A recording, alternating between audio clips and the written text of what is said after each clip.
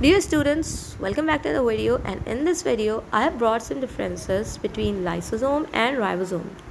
So let's start the video.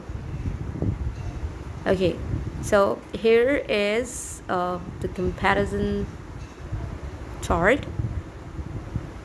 Uh, you can see uh, first I have listed lysosome and then ribosome.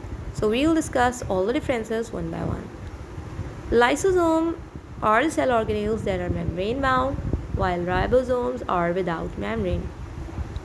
Lysosomes are found only in eukaryotic cell since they are cell organelles and they are not available in prokaryotic cell, while ribosomes they are present in both the prokaryotic and eukaryotic cell.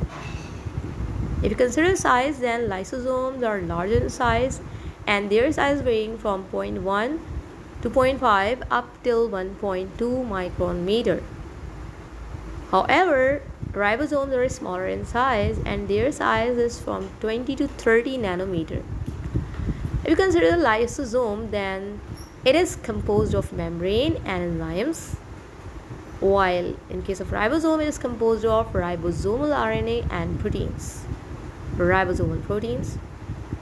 If you look at the structure of lysosome, then it is an unsegmented organelle, while ribosome is segmented structure.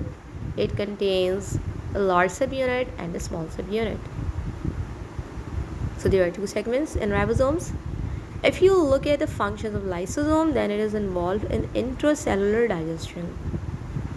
While in case of ribosome, it is involved in protein synthesis. That's it if you want me to make other videos you can comment. And if you have any query related to any topic then you can also ask in the comment. If you like this video hit the like button subscribe to my channel. It means a lot.